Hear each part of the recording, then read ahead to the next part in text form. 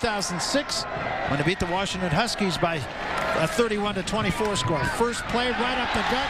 Stewart picks up nine. Josh Hill defending for California, but again a nine on first down. We gave that offensive line for Colorado grief early in this game, but they have done a fantastic job moving people off the ball today and creating holes in the run game when they have needed to. So second down and short.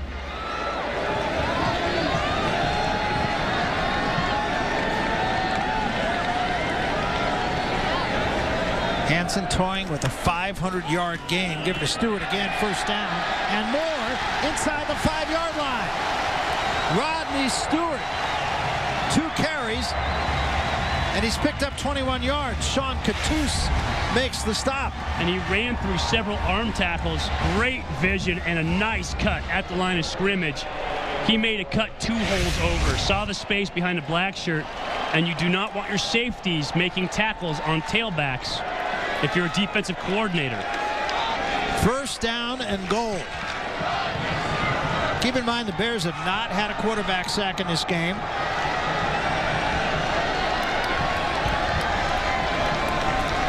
Hansen give it to Stewart again. This time he stopped before he can get started. First man to him was Trevor Guyton. And then it was DJ Campbell who finished him off right about the line of scrimmage. It gets to a coaching point. When we talked to Jon Embree yesterday, he said they were still running ones-on-ones in run drill in the hole with guys hitting each other at full speed, game speed, trying to develop toughness, trying to develop technique, and it is paying off for this offensive line for the Buffs. He also said the D's won. yeah, that's right. Out of the power On second down, they need four. They give it to Stewart again. Stewart trying to bounce it outside, surrounded and down right at the line of scrimmage. And that'll be third down. Might have even lost a yard. Trevor Guyton and Caparelli on the stop for California. Third and five. I would expect to see play action something where you allow Tyler Hansen to get outside and potentially make a play himself. As a linebacker, you have to honor the run, but you have to be aware of play action. Hansen has completed just two of his last six passes. He needs five. Straight back. Pump fake. Throw the end zone. It is knocked away on a great defensive job by Steve Williams. Williams almost had a pick. Williams had a chance to virtually end this game because if he picks that ball off, A, he could return it. But B, he gets this pick. Cal's offense, all they have to do is come out, line up, and kick a field goal, and they win the game. Great coverage the entire play by Williams. So it'll be Oliver to try the field goal, chip shot field goal for him. It's going to be a 22-yarder. But it does open the door a crack for California.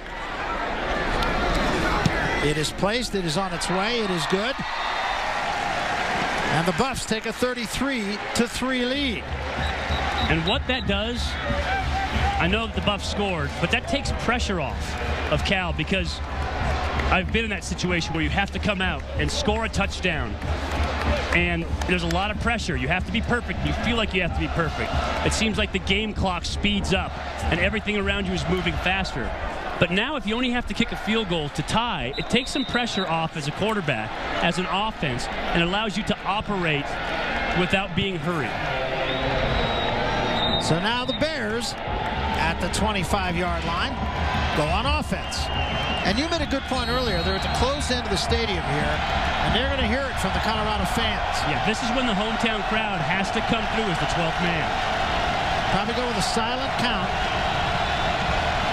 Maynard now goes up under center. And Maynard gives to Sofele. Sofele bumps off one man, but picks up only about a yard. Josh Hartigan, first man to him.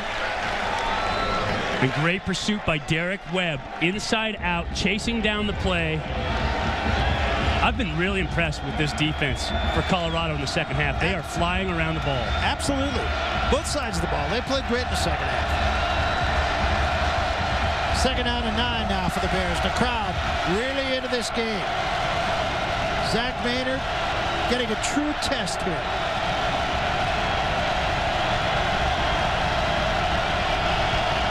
Maynard straight back. He's got a little time. A Little clear out this time for Jones. Makes the catch short of the first down. It's going to be third down and just about a yard. Third and one, much easier than third and long. They bring Anderson into the ball game. Anderson really is the banger on this team. And the only reason he's not getting more minutes is he's still working on his protections. He's the lone setback. Allen to the near side. Two tight ends. They give it to Anderson. Stutter steps, falls forward and gets it. He didn't get it by much.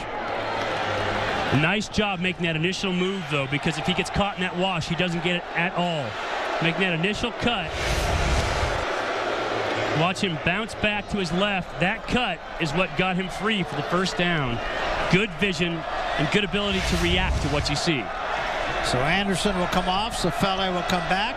Bears have a first down at the 15-yard line.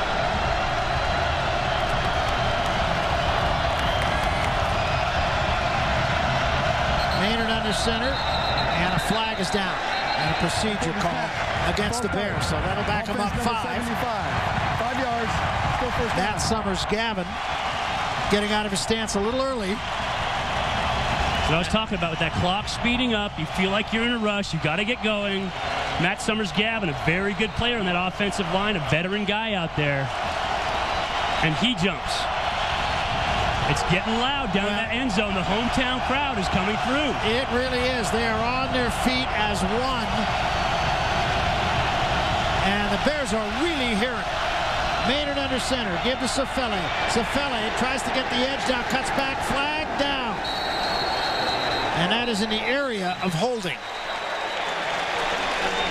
And the Bears are about to penalty themselves out of field goal range. Personal foul.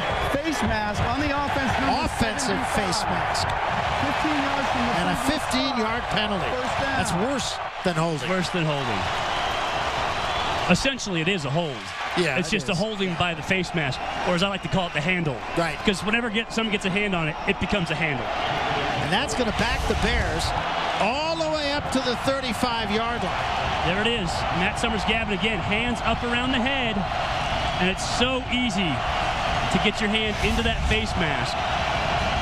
Hand placement, critical for the offensive lineman. And quite honestly, from this point, I think it's right at the edge of Giorgio Tavecchio's range. Maynard straight back.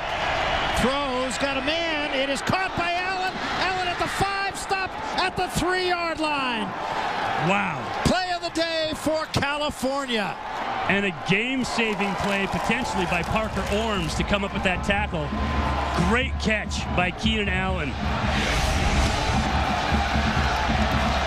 Maynard looking to the field, coming back, and of course, going to his brother.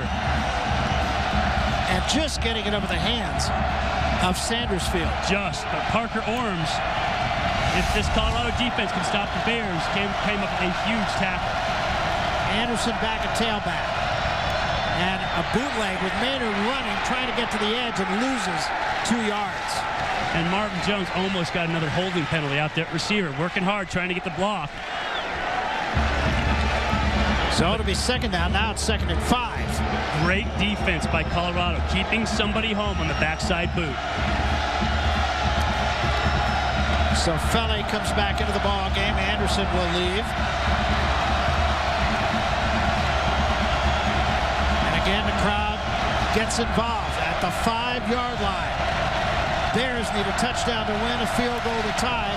They've got seven seconds on the, sh- on the uh, play clock to get this off. And they do. Short drop. Maynard throws for Allen. He's got it. Touchdown.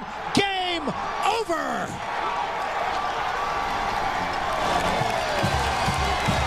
And the hometown crowd absolutely silenced.